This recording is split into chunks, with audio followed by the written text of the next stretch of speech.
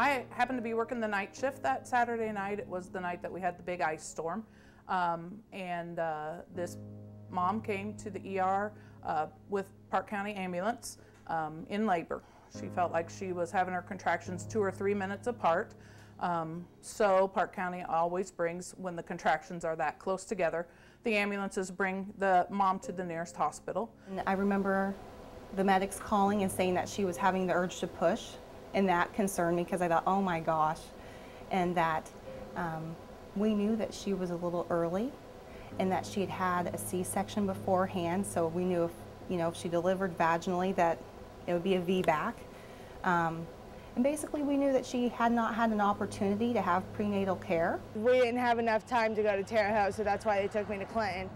But we finally got out of there and went to Clinton, and they barely had enough time to get her out. I had, um, they couldn't give me nothing for it, like no drugs, no nothing. And um, I barely got in a gown on the bed, and here she comes. So we got her into the to the room here, uh, got an IV started, and um, she was in notable pain. Um, this particular lady had had no prenatal care, and um, did have one baby at home.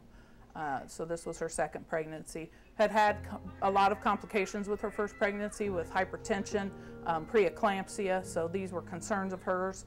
They was trying to wait for maybe a little bit, but then here and she came. Um, these surprises can happen to them at any moment. Um, we have a lot of rural area to cover, um, and so those women can't always make it to Union Hospital, Terre Haute, where there's a newborn ICU.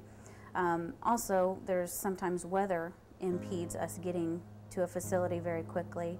Um, sometimes snow or ice plays into it where the ambulance takes a little longer to get to Union to pick up the team and then to get to the outlying hospital. And some of the hospitals we pick up are in Linton, um, which is a 45, 60 minute drive from Union. So for the nurses at the facilities to know how to stabilize a newborn is vitally important for that baby's life and that family.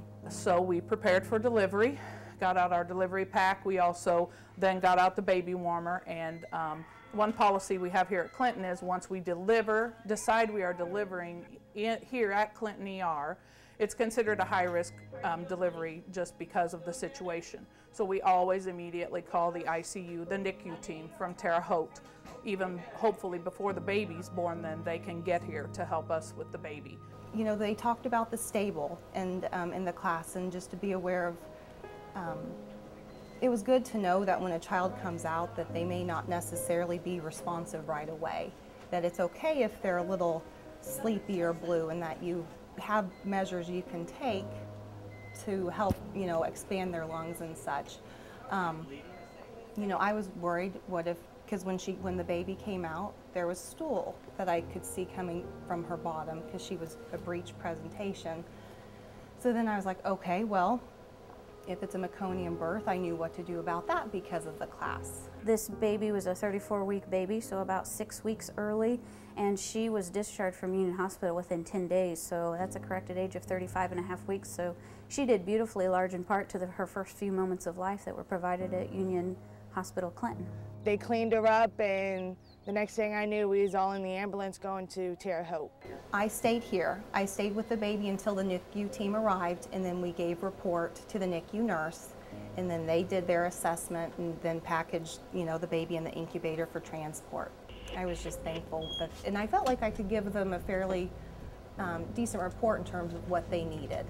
You know, we had the birth weight, we had the time of arrival, um, what had kind of gone on beforehand. So I felt like we could paint a picture without giving them too many details that they didn't need.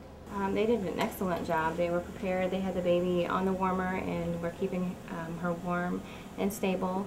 Um, she was breathing well, so they didn't um, need to have any extra respiratory support, um, but they kept her stable until we got there. I believe that it's vitally important for these babies and these families. Um, the first five to 30 minutes of um, after delivery can be vital to the outcome of the child's life.